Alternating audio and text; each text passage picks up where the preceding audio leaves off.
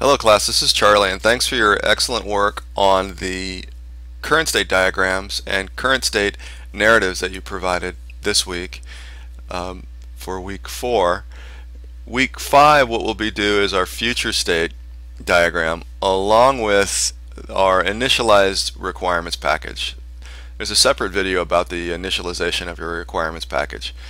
I'm just going to focus on the future state diagram in this video. So this image you're seeing here is taken from the infographic that I created uh, to show you the overall the cycle of the facilitation of, of cycles of facilitation and the cycles of analysis. And of course we've been using the facilitation cycle provided in our text from Michael Wilkinson, the Secrets of Facilitation text. And we're just getting into this uh, this tight cycle that he has uh, defined in chapters 5, 6, and 7, which is focusing the group, the power of the pen, and information gathering. And perhaps we've used this in our in our pet store uh, story or in our own personal story. We've used this to build a, a charter. And a charter doesn't have to be necessarily be a Microsoft Word template. It could just be a list of things that I've depicted here with just this uh, this thought bubble with these three items we've decided uh, that are that make up our project or what our project needs in order to be successful. Here you'll recognize the list of important things, processes, people, and location. And you'll see that this is from a project that actually I am doing myself.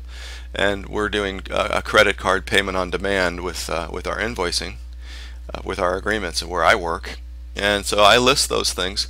And then you'll see here the current state that I drafted up which was today in order to license a technology, customers download a PDF, fill it out, print it, complete it, sign it, scan it, and attach it to an email and send it to the C4C. So I'm giving a narrative of how things work today and, and you, you folks have already done that and you did a good job. The future state, I'd like for you to take the same the same uh, style of narrative, same style of diagram, and just depict what is not going to be happening in the, what is going to be happening in the future and remove those things which are not going to be uh, present in the future. So your current state, future state should look as though you spun them from the same cloth, if you will. Uh, they should look similar in style and color uh, and so that you can readily depict the differences uh, and perhaps use some special color to uh, represent uh, what the what those things are that are are wholly new. Those things that are really a, a big difference that you're delivering.